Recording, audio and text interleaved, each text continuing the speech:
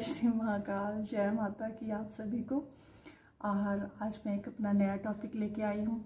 महारानी से आप सभी की मंगल कामना के लिए दुआ करती हूँ। आप लोग खुश रहें, स्वस्थ रहें, मस्त रहें, ठीक है?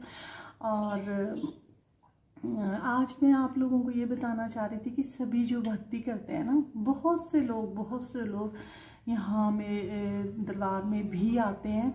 और वो लोग हमेशा यही कहते हैं कि दीदी, हम कहते हैं, हम भी बात करना चाहते हैं देवी देवता से। मैं इतनी पूजा करती हूँ, मैं इतने सालों से व्रत रखती हूँ।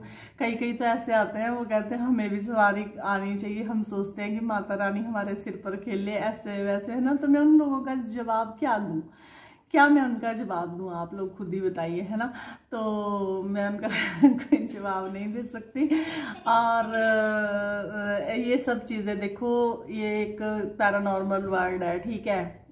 ये पूर्व जन्म के कर्म लगा लो, या आप लोग इतने मेहनती हो, मेहनत करते हो जीवन में, मेहनत करोगे, बैठोगे, जाप करोगे, संकल्प लोगे, साधना करोगे, तब ये चीज़ें आप लोगों को होती है। ऐसे नहीं है, ऐसे बेली नहीं होती है भगवती देवी की ऐसे आ जाएगी, नहीं आती, ऐसे बिना करे कैसे होगा कैसे होगा?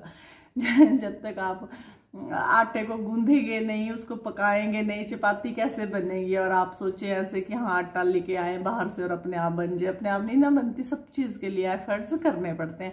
तो आप सभी कहते हो कि आ, आ, ये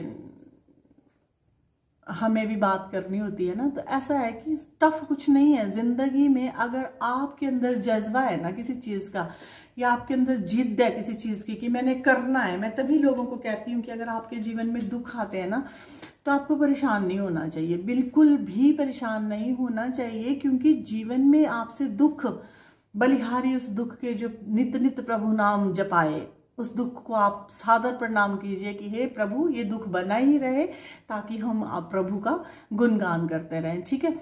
तो आपको इस चीज़ के लिए ना वो नहीं होना चाहिए, ठीक है ना? तो आप सभी ये माने तो होता क्या है? हो जाता है सबके तो ऐसा कुछ नहीं है कि नहीं होता। ज़िंदगी में सब कुछ हो जाता है। आप करने वाले होने चाहिए। आपके पास जज्बा होना चाहिए इस चीज़ का।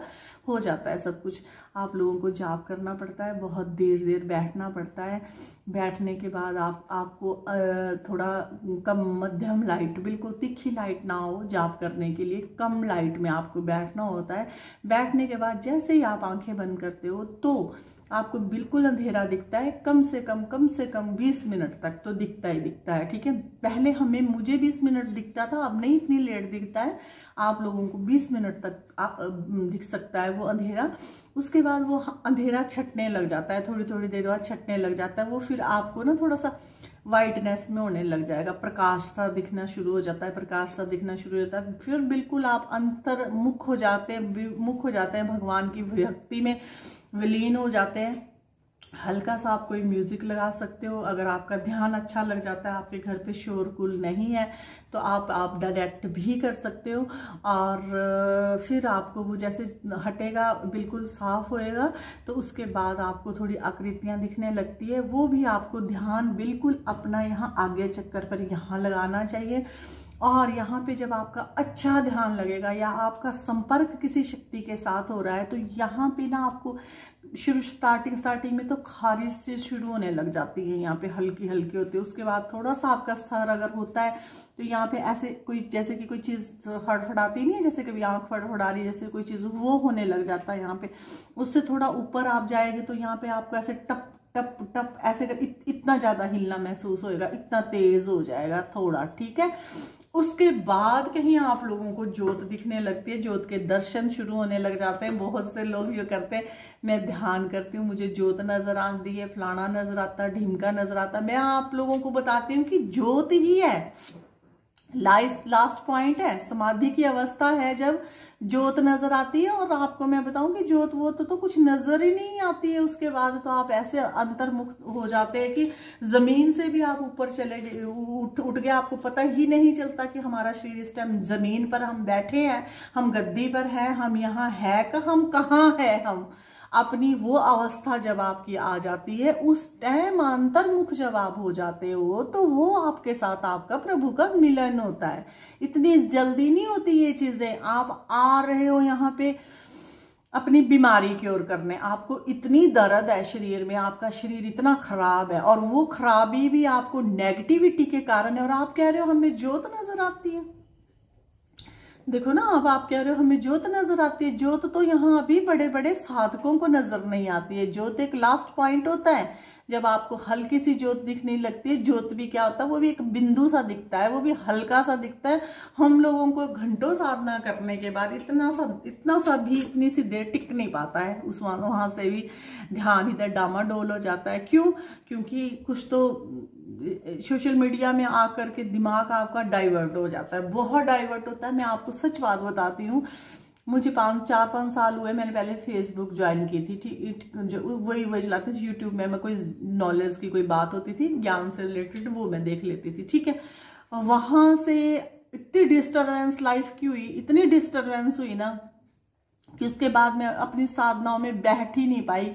बैठ ही नहीं पाई। इतना दिमाग इतना खराब हुआ कि वो उस मकाम पर फिर जा ही नहीं, जा ही नहीं पाया। ठीक है, उस वजह से इतना डिस्टर्ब इसके लिए आपका मन विचलित नहीं होना चाहिए। मन एकाग्र होएगा। मन एकाग्र इसलिए कैसे होता है? जब आपका संपर्क बहुत कम लोगों से होता है। सोशल मीडिया में तो आप आकर के और ज़्यादा होते हैं। अब मैं यूट्यूब में आई हूँ। अब ये इसके वीडियो शूट करो, कीर्तन करो, ये करो, चौंकी कर लो, ये कर लो, वो साधना का मार्ग बन ही नहीं पाता। लेकिन जब मैं इन सब चीज़ में नहीं थी तो मैं हर थोड़े दिन बाद अपना चालीस या इक्कीस दिन का करके, उसको करके, फ्री हो करके अपना पूरा, मुझे पूरी ये चीज़ें महसूस होती थी। लेकिन अब वो बात है ही नहीं। अब या तो फिर इन चीज़ों में लिप्त हो जाओ, या फिर इन चीज़ों से आप कट हो जाओ। लेकिन फिर भी मैंने इसको एक इसमें रखा है लेबल में रखा है, समांतर रखा है उस चीज़ को। कटने नहीं देती, टूटने नहीं देती टाइम टाइम पर कर लेती हूँ। और जो मेरा सुबह शाम का नियम है, वो तो मेरा नियम है। मैंने कहीं भी जाना हो, कहीं भी जाना हो तो मेरा वो नियम पक्का है, वो मैंने करना ही करना है तो आप लोगों ने ये करना होगा। जैसे मैं आपको बता रही हूँ तो देवी देवता बातें करते हैं, पर पहले ये स्टेप आप कर लीजिए ना। पहले तो जब कोई शक्ति आपके साथ संपर्क साधती है तो पहले तो खेलते हैं, सच में खेलते हैं। मैं ये नहीं कह रही कि फिर वो माता ही आ गई आपके अंदर। वो ऊर्जा इतनी होती कि छटपटाने लग जाता है व्यक्ति, छटपटाने लग जाता है। हम कौन से कहते हैं? मैं तो कभी नहीं कहती कि माता ही आ गई, मुझमें भोलेनाथ ही आ गए। मैं तो कहती हूँ, मैं तो बहुत पापी आत्मा हूँ। मेरे अंदर पता नहीं अब माता आ गई, कैसे आ गई। मैं तो कहती हूँ कि ऊर्जा बन जाती है। वो तो कोई भी करो, कितना से कितना, कोई भी पापी करो, बनेंगे छटपटाएँगे ज़रूर। भक्ति करने के लिए पहले तो अपने शरीर को पावरफुल बनाना पड़ता है। योग, आसन, सैर, अच्छी आपकी हेल्थ होनी चाहिए। क्यों? क्योंकि जब आप शक्तियों से संपर्क साधते हो तो इनकी पावर होती है, ज़ोर होता है। हल्का फुल्का आदमी कम इस वाला आदमी ऊर्जा के वेग से बीमार पड़ जाता है, गिर जाता है, चक्कर आ जाता है, उल्टियाँ आनी शुरू हो जाती है। जो आप लोग कहते हैं कि मैं भक्ति करने बैठती हूँ, पूजा करने होती दीदी मेरा सिर घूमता है, चक्कर आता है और उल्टियाँ सी आने लग जाती है। ऐसे क्यों होता है? धड़कन बढ़ जाती है, गर्मी लगने लगती है। सबसे बड़ा सिम्टम तो ये है कि इतनी गर्मी में जाप भी ना करूँ ना, अगर मैं अपनी गद्दी पर ही धारण हो जाए ना, मुझे ऐसे लगने लगता तो मैं उबल रही हूँ। अब मुझे इतनी गर्मी लगनी शुरू हो जाती है। बहुत कम मैं वुलन डाल पाती हूँ। तो इस करके मैं आप सभी से यही रिक्वेस्ट करती हूँ, यही अनुरोध करती हूँ आप सभी से कि आप सभी इसको अपनाएँ। और जिस तरह मैं आप लोगों को बोल रही हूँ, एक तो बीच में फ़ोन आ जाते ना तो जिस तरह मैं आपको बता रही हूँ कि करिए, ये सब होता है, लेकिन अपनी बॉडी को पहले सब चीज़ सब चीज़ से अपने को वो करके रखिए, अपना बैलेंस बना करके रखिए, हर चीज़ का अपना खाने का ध्यान रखिए, पीने का ध्यान रखिए, ऊर्जा बनाइए धीरे धीरे बनाइए सहंदी सहंदी बनाइए, बीमार ना होना, और ये एक पावर है, एक एनर्जी है। और इस, इसको बिना ज्ञान से तो बिल्कुल ना करना, किसी की निगरानी में करना, किसी से पूछ पूछ के करना। मैं जितना बता सकती हूँ, जितने मेरे लाइफ के एक्सपीरियंस उतने मैं आपको बांटती चली जा रही हूँ। जितनी आपकी समझ में आते हैं, वो आप करिए। अगर नहीं मेरी समझ के आते तो किसी से पूछ लीजिए या कहीं और सर्च करके देख लीजिए। कुछ भी करिए, पर ऐसे ना करिए, ऐसे ना करिए। ऐसे घंटों घंटों ना बैठिए। गलत गलत हो जाता है और अपने शरीर को पहले शुद्ध बनाइए। भगवान को एंट्री अंदर देने से पहले आपके शरीर में कोई गंदगी नहीं रहनी चाहिए, उसके लिए आपको साधकों की आवश्यकता पड़ती है। ठीक है? तो आप सभी को आज ठंड थी। काफ़ी जब मैंने ये वीडियो बनाई थी तो फिर मैंने बैठ गई थी मैं थोड़ा सा और हम गई हुई थी कहीं मैरिज में, वहाँ से आ कर के चेंज करके फिर मैंने ये वुलन डाल के फिर मैं वीडियो बनाने के लिए आई। तो फिर आई होप आपको मेरी वीडियो पसंद आएगी। लाइक शेयर कमेंट ज़रूर करना। कमेंट ज़रूर करना। आपके कमेंट का मैं वेट करती हूँ। जय माता की। जय श्री महाकाल। आप स्वस्थ रहें, मस्त रहें। जय माता की।